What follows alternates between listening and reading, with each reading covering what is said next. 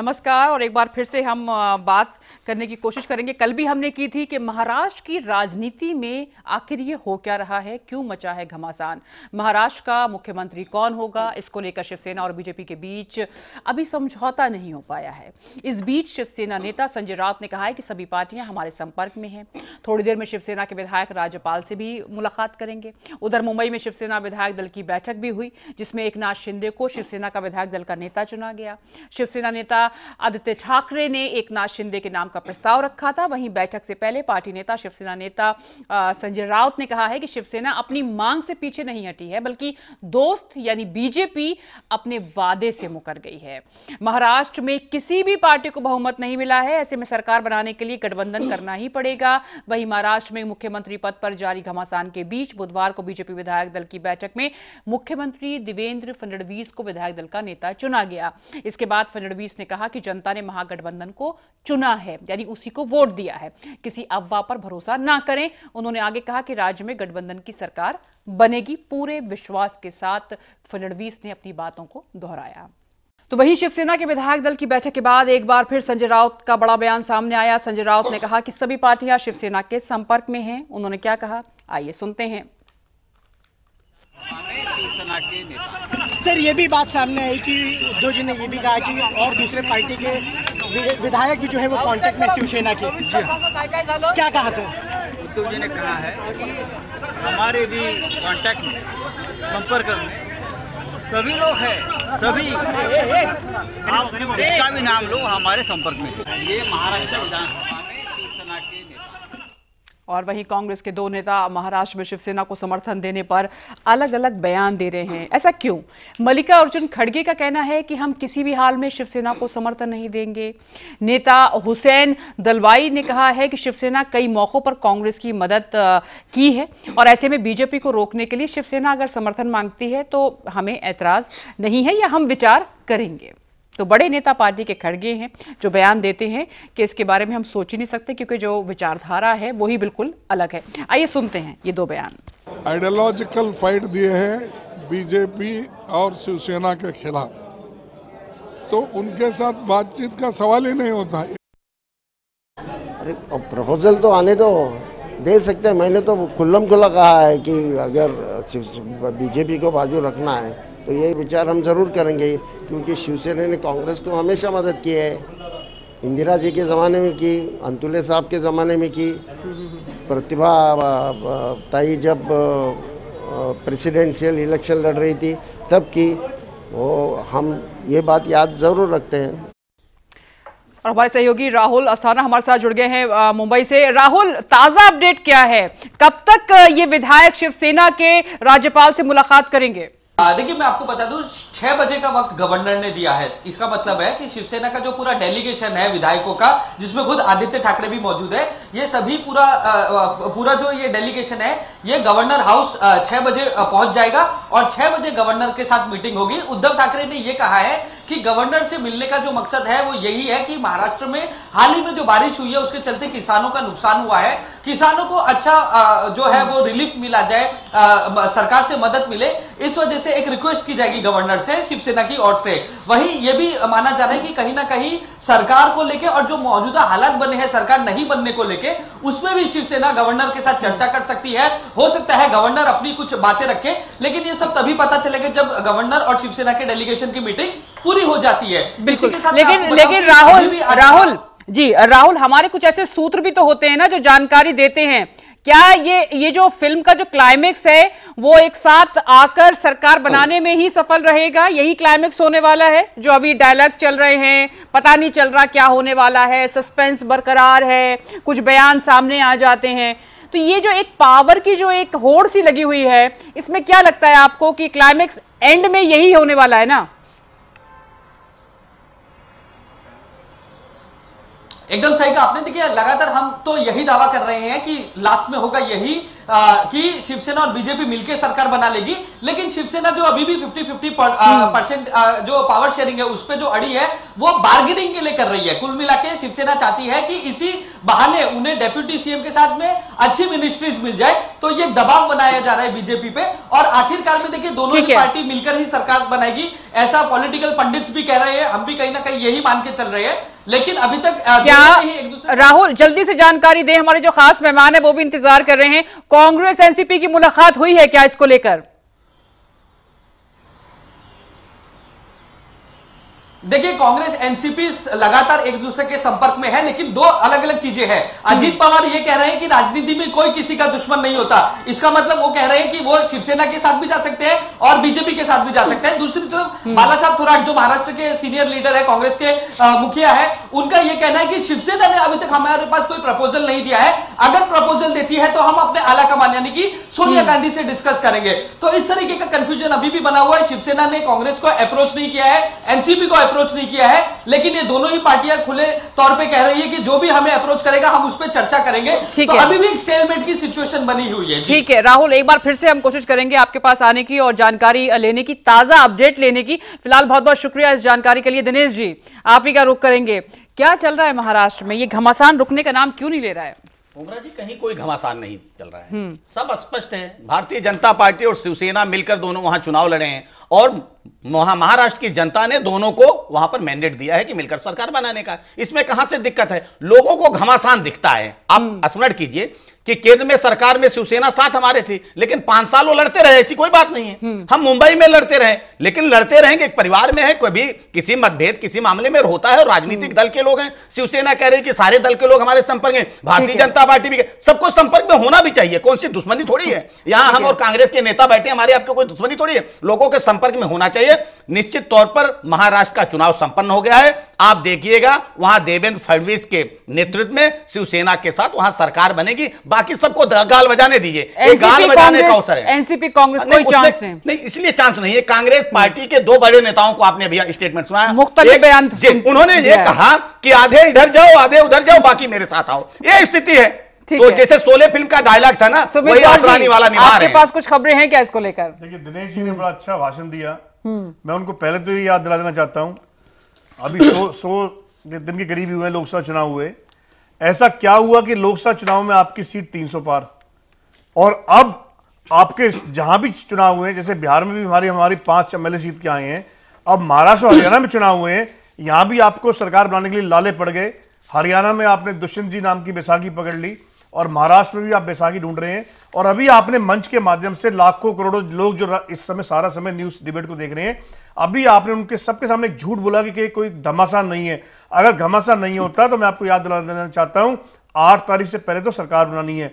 चौबीस तारीख का रिज़ल्ट आया हुआ है। हाँ, तो हरियाणा में बैसाखी मिल गई आपको सत्ताईस तो तारीख दिक्कत और आज? ये इकतीस हो गई है हाँ, तो यानी कि सात दिन निकल गए हाँ, हैं तो घमासान है। आप इस बात को क्यों नहीं मानते? घमासान नहीं है। आप पूरे हाथ पर क्या आप बीजेपी को हटाने के लिए शिवसेना के साथ जाएँगे? देखिए उसमें ऐसा है। अब स्थिति चार ही परिस्थिति इस समय बन रही है जो- जो हम अभी तक देखते आए हैं। पहला तो माहौल ये है कि भी देखा जाए कि शिवसेना जो है इनका डिप्टी सीएम और इनका 50 50 परसेंट की भागीदारी उनकी। ठीक है। या इनका सीएम बने और उनके मंत्री चाहे 40 परसेंट बने। नंबर तीसरा अभी तक तो देखिए आपके यहाँ कोई हलचल नहीं थी आप लोग ये मान चुके थे कि हम विपक्ष में बैठेंगे। हाँ, दूसरा हमारे अभी भी ये मान रहे हैं या अभी आपको गुंजाइश नज़र आने लगी अभी भी हम आप अभी भी एक विकल्प और खुला है। हो सकता है क्योंकि ये जैसे आज का सिनेरियो जो हम देख रहे हैं कि उसमें हो सकता है कि कांग्रेस और एनसीपी अगर शिवसेना खुद चल के आती है खुद आके बात करती है तो कांग्रेस और एनसीपी अपनी कुछ वाजिब शर्तों पे नियम पे जनहित को देखते हुए अपना समर्थन बाहर से दे दे और शिवसेना सरकार बने। ये भी हो सकता है। देखिए सारे फ्रंट खुले हुए हैं। लेकिन हमें इतना पता है। बीजेपी सरकार जहाँ भी बनाने जा रही है बैसाखियों से बना रही है और इनको जनता न, हर प्रदेश में नकार चुकी है ये मैं कहना चाहता हूँ। एक, है। एक सिर्फ़ जवाब एक दस सेकंड का दें। देखिए आपको भी कांग्रेस के मित्र को भी चिंता हो रही है कि भारतीय जनता पार्टी को कम सीटें मिली। ये कार्टून अच्छे लग रहे हैं दिनेश जी आपको। इतनी इतनी बहुत अच्छे अच्छे देखिए ये ये जो शिवसेना का कार्टून है ये नहीं तो शिवसेना के हाथ में है क्या? हाथ में है क्या? कमल हाथ में कमल। ये एनसीपी का है देखिए। हाँ बिल्कुल सबके साथ भाजपा है। सबके साथ कमल दिख रहा है यही सबके साथ दिख रहा है, हाँ, हाँ, आओ। नहीं आप पोज देख रहे हैं पोज पोज देखो एक में तीर गिर गिर रहा है कमल पे और एक शेर के आप, हाँ, हाँ, आप कमल तीर पे गिरेगा कमल तीर तीर कमल पे लेकिन हाथ के साथ नहीं जा रहा है ना दिक्कत यही है दिक्कत क्या है कह रहे हैं कि कम सीटें आपको भी तकलीफ़ है ना आप अपनी चिंता नहीं कर रहे हैं आपको कोई पूछ नहीं रहा हमने तो गठबंधन के आधार पर है। पीयूष पहले देखिए है। राजनीति वहाँ महाराष्ट्र में इस बार दिखाई दे रही है इसको कैसे देखते हैं आप देखिए ये सिर्फ़ जो है कि अपना दबदबा स्थापित करने के लिए और ज़्यादा हिस्सा ले लेने सत्ता में ज़्यादा हिस्सा ले लेने की कवायद चल रही है। उससे में शिवसेना अब आगे क्या मांग सकती है? अब वो सीएम पद से नीचे आएगी तो क्या? नहीं नहीं देखिए सीएम से कम हाँ। आ गई वो डिप्टी सीएम में आ गई। लेकिन पेज फंसा हुआ है कि जो मलाईदार जो है मंत्रालय हैं जो महत्वपूर्ण मंत्रालय हैं वो होम है। हम्म। हालाँकि बीजेपी फाइनेंस देने को तैयार हो गई है लेकिन होम है अर्बन डेवलपमेंट है और पीडब्ल्यूडी डिपार्टमेंट है हम्म। है। ये जो वो चाह रही है और वो चाह रही है कि बराबर बराबर वहाँ पे 50 50 का फार्मूला अगर न भी हो तो कम से कम हमें वो तेरह जो तेरह डिपार्टमेंट जो है बीजेपी देने को तैयार हो गई है है। वो अठारह मांग रहे हैं शिवसेना वाले अठारह मांग रहे हैं इक्कीस जो है बीजेपी रखे और अठारह हमें दे जहाँ पे पेज फंसा हुआ है ठीक है। बीजेपी जो है उनको चौदह मैक्सिमम मतलब वो पिछली बार की तरह नहीं चाहती कि थोड़े से कमज़ोर लेकिन देखिए क्योंकि मामला पहले था सीएम वाला वो खत्म हुआ डिप्टी सीएम के तैयार हो गए। दो डिप्टी सीएम होंगे, ये भी निकल कर आई बात। आदित्य आदित्य ठाकरे का चुनाव नहीं हुआ लीडर ऑफ़ नेता का इससे साफ़ हो गया कि उन्होंने गिव अप कर दिया है चीफ मिनिस्टर की पोस्ट को। ठीक है। तो अब राज्यपाल से जो मुलाकात होगी उसमें क्या बात हो सकती है शिवसेना की तरफ़ से? देखिए मुझे लगता है फिर ये एक दबदबा कमा कायम करने की बात है कहीं ना कहीं हम्म। बीजेपी को प्रेशर में लाने की क्योंकि उनके पास ऑप्शन एक ये हो सकते हैं कि हमारे पास औरों का सपोर्ट है जिसमें। एनसीपी कांग्रेस हो सकते हैं ठीक है। खासकर एनसीपी जो है वो काफ़ी जो है कि पिछले बार भी 2014 में भी सपोर्ट दे चुकी है भारतीय जनता पार्टी को सरकार को तो वो उसके लिए आइडियोलॉजिकल प्रॉब्लम नहीं है कांग्रेस भी पहले जो है शिवसेना के साथ का सपोर्ट ले चुकी है जब अंतुले जी थे उस टाइम में ले चुकी है। तो इस तरह से जो है कि इस समय कोई भी इक्वेशन अल्पमत सकता है लेकिन मुझे लगता है अंत में सरकार बनेगी तो इन्हीं की इन्हीं बनेगी की बनेगी। और ये ये ये इनका इनका रिकॉर्ड रहा है हर बार हाँ। लोकसभा चुनाव के बाद भी सरकार में तो रहे और घमासान जो है ये मंत्रालयों को लेकर अब हाँ। किया जा रहा है जी हाँ। ठीक है डॉक्टर एच के सिंह भी हमारे साथ जुड़ गए हैं सिंह साहब आप इसको कैसे देखते हैं हुमरा जी देखिए क्योंकि आज ये उम्मीद की जा रही थी कि शायद आज सब बात हो जाएगी और सब कुछ खत्म होगा। अब सरकार बनने के लिए जो काम होना है वही शुरू हो जाएगा। लेकिन ऐसा दिखाई दे दे दे रहा अभी भी। नहीं थोड़ा वक्त हम्म। और लगेगा इसमें। क्योंकि ये तो दबाव की राजनीति ही चल रही थी शिवसेना के लोगों पर क्या असर पड़ता है? जिन्होंने वोट दिया है। देखिए फिर तो- बीजेपी जब कहती है कि आपके गठबंधन को हमारे गठबंधन को वोट दिया है तो आप कहीं ना कहीं वो शर्मिंदा तो नहीं होते ना लोग भारत कि में हमने पब्लिक मेमोरी हम्म। बहुत शॉर्ट होता है अगला इलेक्शन पाँच वर्षों उसी के फ़ायदा उठाया जाता है तो इसलिए अभी जनता जो भी सोचे तात्कालिक होता है हम्म। और सबसे बड़ी बात है नेचुरल अलायंस है शिवसेना और भारतीय जनता पार्टी का हम्म। तो अगर ये लोग अलग इससे इतर हटकर हम्म। और काम करते हैं और दूसरे अलायंस की के फेरे में रहते हैं तब संदेश गलत जाना था। तो अब शिवसेना ने टोन डाउन कर लिया है डिप्टी चीफ मिनिस्टर का पद तो मिलेगा ही। और ज़ाहिर सी बात है कि मंत्रालय पर ही गहमा गहमा ही हो रही है। मैं ये तो नहीं कहूँगा मलाईदार मंत्रालय कौन है और क्या है लेकिन मैं ये कहूँगा कि प्रत्येक पार्टी यह चाहती है कि उसकी बढ़त मिले उसको बढ़त मिले। और जनता के बीच में वो अधिक से अधिक जाएँ और अपना प्रचार प्रसार भरपूर ढंग से करें। तो ज़ाहिर सी बात है शिवसेना एक मज़बूत पार्टनर है भारतीय जनता पार्टी का। तो ऐसी स्थिति में एक दबाव की राजनीति वो बना रहे हैं लेकिन वो भी जानते हैं कि मुख्यमंत्री का पद उनको मिलना नहीं था। और ये तो बार बार वो बोल भी रहे थे कि हमारी तैयारी दो साल से चल रही है चुनाव की। काफ़ी तैयारियों के मोड में और एक्शन में ये लोग दिखाई दे रहे थे। और ये भी कहा गया था कि इस बार जो है बिल्कुल बराबरी का मुकाबला होगा। तो अब ये छोटे भाई की भूमिका उन्होंने दरकिनार कर दी है दिनेश जी इसको मानते हैं आप? देखिए वरना ये टसल इतनी लंबी नहीं चलती है। देखिए हमेशा चाहिए हर पार्टी को चाहिए ये कांग्रेस को भी चाहिए सबको तैयारी दो साल से नहीं पाँच साल से करनी चाहिए। अब चुनाव संपन्न हो जाए आज के बाद तैयारी करनी चाहिए करना चाहिए सबका अधिकार है। और सबको चाहिए कि जब आप सरकार मिलजुल कर चलाते हैं तो आपको भी चाहिए कि आपका जो अधिकार है उसको प्राप्त करिए लेकिन सिर्फ़ मेरा एक निवेदन है। इसी तरह की चर्चा अभी विस्तार में लोग कर रहे थे मंत्रिमंडल का विस्तार जब केंद्र में हुआ तो बिहार को लेकर चर्चा कर रहे थे कि नहीं नीतीश कुमार जी इतना चाह रहे हैं फला इतना चाह रहे हैं फला इतना चाह रहे हैं। अंत में को चर्चा क्या कर रहे थे लोग और क्या परिणाम हुआ? उसी तरह की चर्चा ना मनगढ़ंत कहानी लोग जो भी पत्रकार जो भी राजनीतिक विश्लेषण है कि इतने मंत्रालय उनको मिल गया इतने पे चर्चा कहीं मामला नहीं आया। आज गवर्नर से मिलने जा रहे हैं शिवसेना की तरफ़ से जो ऑथेंटिक बात कही गई वो ये कही गई कि किसानों की समस्याओं को लेकर मिलने जा रहे एक बात लेकिन हम लोग सूत्र हम लोग कयास इसी में परेशान ये भी तो कहा उन्होंने कि तमाम पार्टियाँ हमारे संपर्क में हैं। हम अरे कौन सी पार्टी कौन सी पार्टी किसके संपर्क में नहीं होता हमरा जी भारतीय जनता पार्टी के क्या कंग हम बैठे तो है कांग्रेस के साथ ही। हमारा इनका संपर्क नहीं है। बिल्कुल होना चाहिए। हमारा आपका खेत और मेड़ का नहीं विचारधारा का अंतर है। विचारधारा को लेकर और वो संजय राउत पार्टी वो संजय की- दिनेश जी जो कहते हैं। कि हम दुष्यंत नहीं है यहाँ पर कोई दुष्यंत नहीं है। वो बयान दे रहे थे इस तरह के। हाँ, है नहीं, ना? नहीं वो बयान दे रहे थे ना लेकिन जिनके पिता जेल में हो। विचारधारा नहीं आप फूट डालो राज करो। आपकी विचारधारा टोटली विपरीत है इस देश के लिए बड़ा खतरा है। फूट डालो राज करो कि नहीं आप लूट लो राज करो। तो आप चले गए नहीं चले गए आप लोग। अब आप कहीं नेपथ में रहिए। देखिए आप सिर्फ़ सात तारीख तक ऐसा करिए वो सब कुछ हो गया है। सात आठ तारीख के पहले पहले भारतीय जनता पार्टी का मुख्यमंत्री वहाँ शपथ लेगा। शिवसेना के साथ मिलकर हम वहाँ सरकार चलाएँगे। बाकी लोग तो chances है, सारा आपके पास है। चांसेस क्या होता है? सारे तो डिपार्टमेंट आपके अंदर है। अरे आप किसी को इनकम टैक्स से दबा लोगे किसी को यही आप करते थे। आप लोग पूरे देश में पूरे संसार में प्रेशर बीजेपी तमाम चित्रण कर रहे हैं आप लोगों ने आपने सिस्टम का जितना दुरुपयोग बीजेपी ने किया है उतना किसी ने आज तक नहीं किया। लूटने का काम आप इस देश के तो हालात को आपको out कर देश में मिश्र में रहिए। से। दीजिए। हरियाणा में भी यही आपने किया महाराष्ट्र में गए, चलेंगे देश में अफ़गानिस्तान में। हो। कांग्रेस पार्टी का अस्तित्व हम तो चलेंगे ही हाँ हैं। आपसे क्राइम आप नहीं परिवार के लिए कर रहे थे बेरोजगारी समझ नहीं ना, रही ना, ना, ना, हाँ, महँगाई बेरोजगारी- समझ नहीं है। कांग्रेस तो बेरोजगार हो गया है, केवल जुमलेबाजी- बेरोजगारी आपको आएगी चिंतित बेरोजगार होंगे बेसिक सुविधा देने में आप आपका हाँ कैसे सुविधा दे पाएँगे है ही हम? फटी लेके आप घूमेंगे हम कैसे आपको सुविधा दे पाएँगे है पीयूष पंत जी तो क्या डिप्टी सीएम जो है ये आदित्य ठाकरे बन सकते हैं नहीं देखिए अब देखिए वो वो वो तो सिर्फ़ सीएम के लिए उनका स्टेक था। ठीक है। और ये पहले डिक्लेयर कर दिया गया था कि आपको याद होगा कि चुनाव प्रचार के दौरान ही कर दिया गया था। ठीक है। और कहा गया था कि आदित्य ठाकरे जो है वो इसीलिए उनको चुनाव भी लड़ाया गया था। क्योंकि चूँकि अब विधा- विधायक दल का नेता चुन लिया गया है एक नाथ के रूप में। तो वही मुख्य उप मुख्यमंत्री बनेंगे। मुख्यमंत्री। क्योंकि यही होता है। है कि देखिए आप किसी बड़े नेता के या मान लीजिए जो एक परिवारवाद चलता है तो उसमें सबसे ऊँची पोस्ट होती है उसमें बैठाया जाता है। इसलिए राहुल गांधी भी उनके आगे के राजनीतिक करियर के लिए जी हाँ शायद हाँ। अच्छा मैसेज नहीं होगा। मैसेज नहीं होगा लेकिन मुझे नहीं लगता कि वो बनाया जाएगा लेकिन मे, मेन वो बात देखिए और दूसरी बात मैं कहूँगा कि जो बात कही गई है शिवसेना की तरफ़ से कि हम जा रहे हैं किसान अचानक वो जहाँ पे हाँ, रस्सा मुद्दा- चल रही है तो अचानक किसान की समस्या के इतनी चिंता उन्हें कहाँ से होगी? वो क्यों जाएँगे डेलीगेशन लेके? ये सीधी सी एक एक एक, पानी फेरने वाली बात जिसको हम बोलते हैं अंग्रेज़ी में कहते हैं व्हाइट वॉश करने वाली बात है।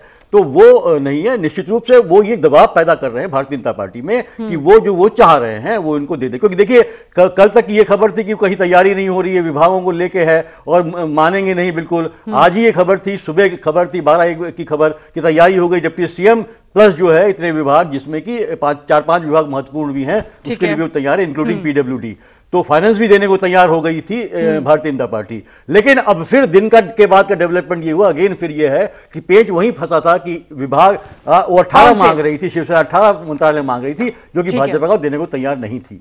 असल में क्या उमरा जी जी।